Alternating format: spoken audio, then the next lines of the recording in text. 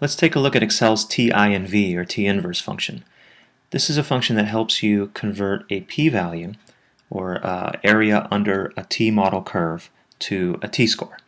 You have to feed it the area under both tails, the combined area of two tails, and you have to give it degree of freedom for the t-model you're working with, and it will return to you the positive t-score which cuts off those two areas.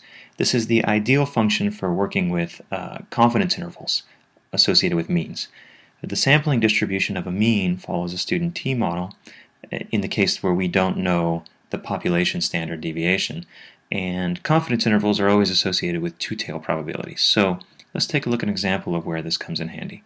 Here's a problem that says the data below shows a sample of the amounts of money grossed by movies with PG or PG-13 ratings, those are on the left, and a sample of the amounts grossed by movies with R ratings, those are on the right.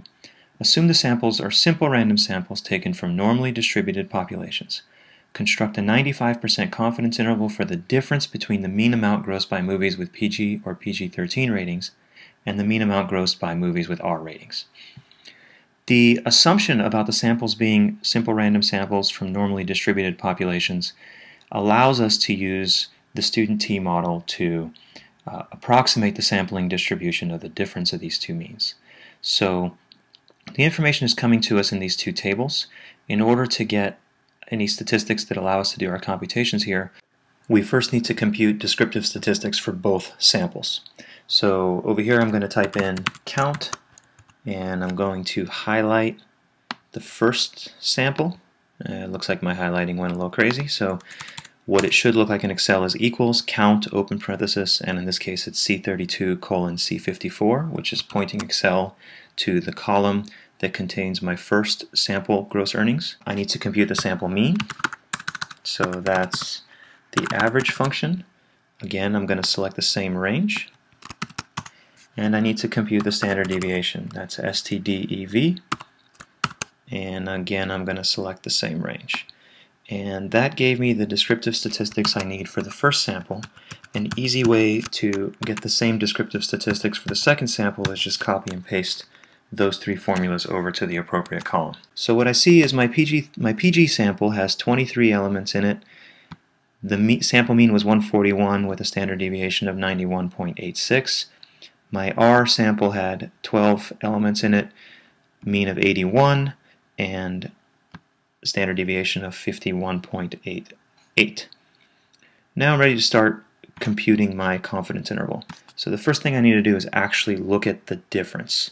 So I'm going to take the mean of the PG and subtract the mean of the R, and that gives me a point estimate of $60 million as a difference of the two means. The standard error needs to be computed with the standard error formula. Again, this is a standard error and not a standard deviation because we do not have the population standard deviations. So the only thing we can do is use the, the sample standard deviations to approximate that.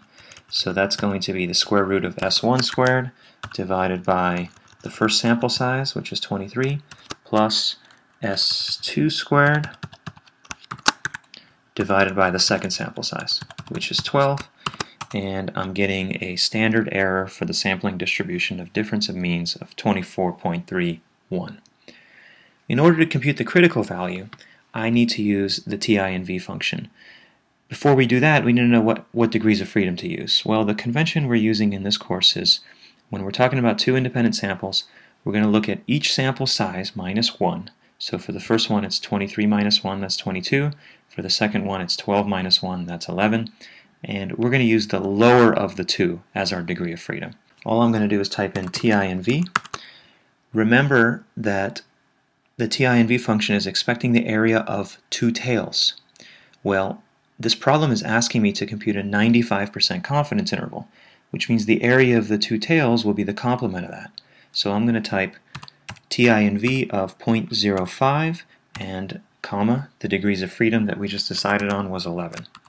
What that does is it gives me a critical t-score for cutting off the central 95% of a area under a student t model with 11 degrees of freedom. That's all I need in order to compute the margin of error. The margin of error is just going to be that critical value times the standard error we just computed, and that coupled with our point estimate of 60 allows us to construct our actual confidence interval. So the left endpoint would be the center, which is 60, minus the margin of error. The right endpoint will be the center, which is 60, plus the margin of error. Our conclusion or description of this confidence interval in context is that we are 95% confident that the gross earnings of PG or PG-13 movies are between 6.49 million and $113.51 million greater than R movies.